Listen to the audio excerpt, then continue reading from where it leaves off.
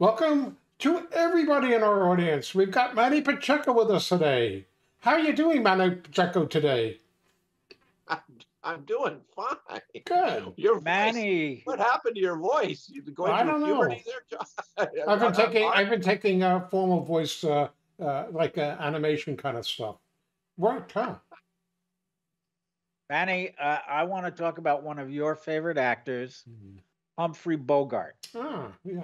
I didn't know, I didn't know that he had a wonderful stage career before he was in movies. That's true, Hmm. and and also let me just begin by saying uh, he's more than just my favorite. He was voted by the American Film Institute as the number one top actor in movie history. I mean, you Really? worse than that. Wow. Yes, Yeah. yes. Uh, number two was uh, Cary Grant. Number three, James Stewart. But yes, Humphrey Bogart comes in at number one. And so it's hard to argue with the popularity of this man of mystery. Uh, yes, he had a really iconic stage career. As a matter of fact, it's good that you mentioned that because it, it is his stage career that led to his uh, time in movies because he just happened to fortuitously be on Broadway at the same time as Barbara Stanwyck and Spencer Tracy and Clark Gable and Bette Davis.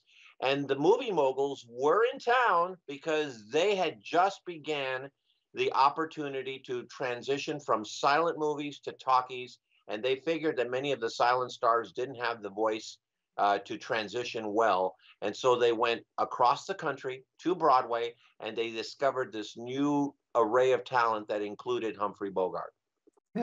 That's interesting. Yeah. And so one of the first films that Humphrey Bogart made, and actually the first film of Spencer Tracy's, and the only time they collaborated together was in a John Ford film called Up the River Hmm. in 1930. Yeah. Wow. Don't know that no one's ever heard of it. I've seen the movie. It's actually a crime comedy. This is before this is before the Public Enemy and and uh, you know all of these great gangster films Yeah. But let me just mention that uh, once uh, Humphrey Bogart settled at Warner Brothers, he wasn't the number one guy to go to. He wasn't the number two or number three or even the number four or number five guy to go to. The, in the pecking order, in the 1930s, the top talent were Edward G. Robinson, James Cagney, and uh, Errol Flynn. But Wow. that was followed by George Raft. So Oh, what happens is is that Humphrey Bogart ends up to be the main heavy in many of these uh, uh, James Cagney or Errol Flynn or or Humphrey uh, or um, Edward G. Robinson films, and he ends up being the bad guy, the main bad guy who ends up uh, dying magnificently in each of these films. But it was very unfulfilling for for for Humphrey Bogart. So what what what catapulted him? Was it a change of studios again? Was he loaned out? No. What happened? No, no, he stayed at Warner Brothers, but you know that's a great question, Art. That's an absolutely magnificent question. A couple of things catapulted him, and one of them has to do with the fact that he was back on Broadway in a vehicle for, of all people, Leslie Howard. It was called The Petrified Forest, and uh, he gets to play this uh, this gangster named Duke Mantee, and Leslie Howard was so enamored by Humphrey's performance that when they they sold the the rights to the to the property to Warner Brothers and Leslie Howard came along as the star they wanted to play him opposite Edward G. Robinson and uh, and and Leslie Howard said no. And then they offered George Raft and Leslie Howard said no. I won't do the picture unless Humphrey Go Bogart plays the the second lead. And so that was such a defining moment for Humphrey Bogart that when Humphrey uh, Bogart had his first child, he named him Leslie. Hmm. really? And yeah, I, or is it maybe maybe it's his daughter? It was his daughter, his second child. His second child was named Leslie. So, um, so a lifelong friendship until Leslie Howard, Howard died tragically in that that plane that got shot down during World War II. Yeah. But Humphrey Bogart, that was his big break. Now, the people at Warner Brothers still wanted to typecast him, so he had to go another two or three years where he was typecast as the, the main heavy. But then they gave him the opportunity to play in a great film um, that takes place up in the uh, upper uh, parts of uh, of the Sierra Nevadas, and it and it's called High Sierra, opposite Ida Lupino, who gets top billing. and um, he got to play a villain with a lot of heart, with a lot of pathos, and that was the game changer. Hmm. And so, um, so the, the the studio didn't take notice, but who did take notice was this up and coming director named John Huston. And when he was given his opportunity to finally direct a big, big movie, The Maltese Falcon, what did Warner Brothers do? They offered him James Cagney. they offered him George Raft. And he said, No, I want Humphrey Bogart. Wow. And so Bogey did it, and then the rest is history. He never played second fiddle to anyone after after that great performance in the Maltese Falcon. Wow. How soon how soon after that did Casablanca and African Queen show up? Uh, well, African Queen quite a bit later, but but uh, Casablanca came only a couple of years later. I think a couple of films in between. But he was starting to play now starring roles. I think he took second fiddle to Raymond Massey and across uh, the across the, the Pacific. Um, but other than that, he was really now the star in all of his films, and and many of his films were going to be directed by by A-listers like Howard Hawks and uh, and Michael Curtiz in, in Casablanca, and of course uh, John Huston did many of his films. You know, I, I've made no secret that Casablanca is my favorite film of all time, and of course I love the performance of Humphrey Bogart. But if you were to twist my arm and ask me what was the best, uh, maybe the best one or two Humphrey Bogart performances, I would have to say that at number two would be The Caine Mutiny, which he he was nominated for an Oscar. But number one, and curiously not nominated, he was snubbed. I believe his greatest moment on screen was in The Treasure of the Sierra Madre. Hmm. Oh yeah, that's a great one. Oh, That is a good one. absolutely. Yeah, that's my choice. And how did how did the the whole uh, Bacall uh, thing uh, uh, come about? With That came that came be, because of a bet. uh, Howard Hawks and, and Ernest Hemingway were friends, and Howard Hawks said, "You know, Ernest, I could take your worst piece, whatever you've written, the, the worst book you've ever written, and I could turn it into a magnificent film." So he gave him to Have and Have Not.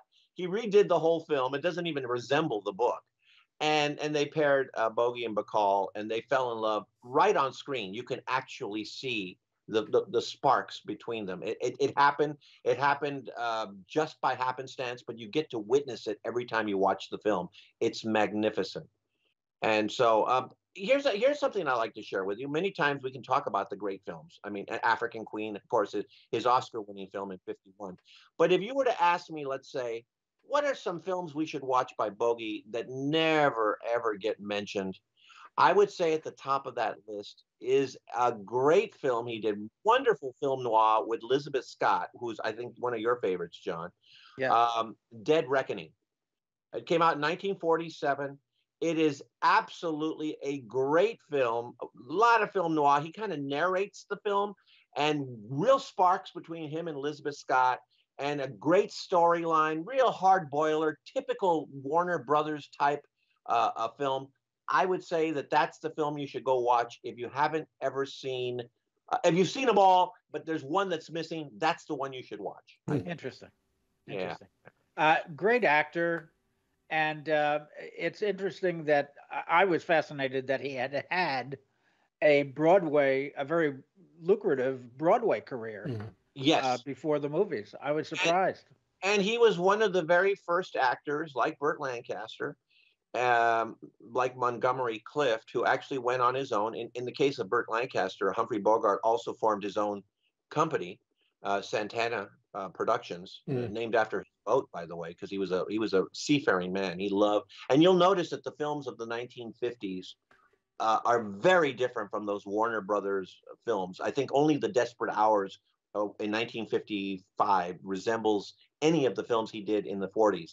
But I mean, you get some great films where you don't expect Bogey to play parts like in We're No Angels. He plays this loving convict during Christmas time. Sabrina, you don't expect him to be the one who falls in love with Audrey Hepburn.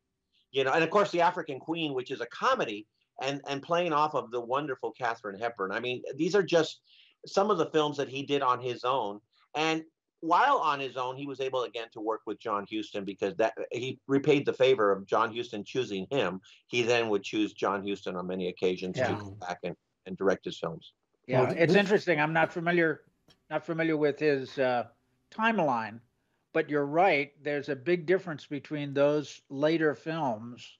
Yeah. Um, and when he could actually, I think, get roles that weren't one-dimensional bad guys. Right, and that's that's a great way of putting it, uh, uh, John. It, it, he just hated playing those one-dimensional bad guys. He just Yeah. did not like that at all. High Sierra, he got to Yeah. play a bad guy with a heart, and that was the game changer. Then Right. people saw the mystique. Now, his last film, I think this is a good point. Uh, uh, i- i- he was very ill at that time. He had lung cancer. He could barely talk. And still delivers, I think, a really magnificent performance. And it's called The Harder They Fall. Really tough, tough film about the uh, boxing racket. And instead of playing the bad guy, the bad guy in this movie happens to be Rod Steiger. a Really wonderful role. Uh, but uh, but he plays the, um, the the the I guess he's the press guy. He's the press agent who happens to be a writer who's kind of going along with the bad guy for a for a for a moment, and then he decides to help out the boxer who's going to get cheated at the very end, uh, and and he turns out he turns in a turns out to be a hero, and with the help of his wife, played by Jan Sterling, the magnificent underrated Jan Sterling, who was in The High and the Mighty and a few other films. He was he was also an Ace in the Hole, but Jan Sterling plays his wife, and it's it, they have a real tender relationship. And he and he turns out to be a really good guy in this when he could have easily played the Rod Steiger part, but uh, no, I, I think he went out with I think a strong film. Now, granted, it's not Guess Who's Coming to Dinner, last film of Spencer Tracy, good, but Right. it's still very solid, a very good performance, and a great way to end his career. Well, even even if you really like that side of of the man, we'll always have Duke Mantee. and we'll always have Paris. so so so uh, I'm sort of uh, the breadth of things that I didn't know, uh, which you of course do, Manny. But but sometimes you overwhelmingly surprised with bits and pieces. Like I knew Cagney and many of the others who went from Broadway to um, uh, to uh, to movies. I didn't realize that he had that in his background.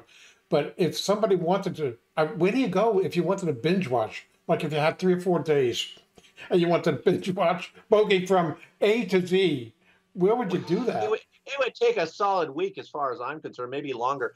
Uh, you know, they did a they did a whole um, month of Humphrey Bogart, two days in a row, uh, on TCM recently, and let me tell you, that was must see TV for me. I mean, it was just fun to watch many of the movies that I love to watch, but then they would throw in something from the 1930s that I was just had forgotten about. Hmm. That was just really good and fun to watch, and uh, it, it, you know. It, a lot of Humphrey Bogart stuff is available out there. So, I mean, it's easy to find him because he's so popular and so iconic. They've they've made movies about him. Play It Again Sam with uh, with Woody Allen.